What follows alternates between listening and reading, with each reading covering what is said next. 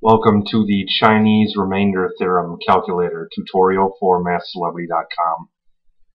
If you want to get to the Chinese remainder theorem calculator, there's two ways. We'll start with a simple search.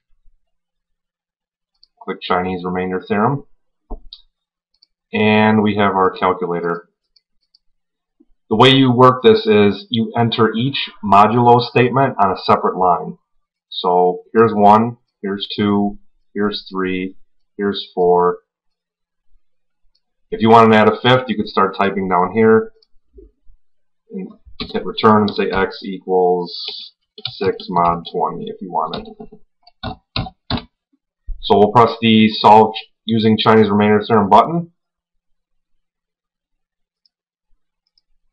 Expand the font a bit. So the first thing we do is we check to see if the each n sub i is pairwise coprime and if they are, we'll go ahead with the regular formula. If they're not pairwise coprime, the calculator will actually go down an alternative path.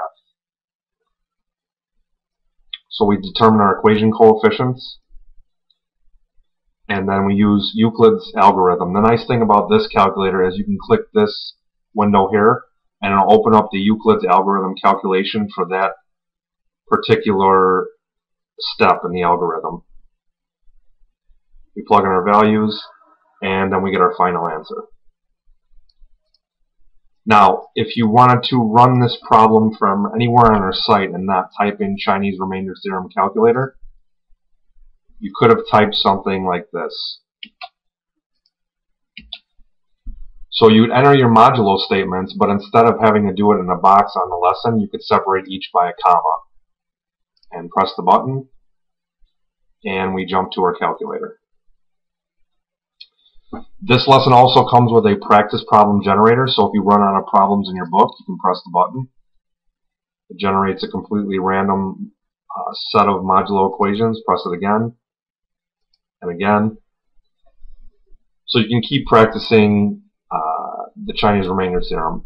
This lesson also has a quiz generator. If you go to our quiz generation video located on this link here, it'll give you more detail. As usual, if you have any questions or enhancements, give me shoot me an email on the contact us link. Thanks for watching.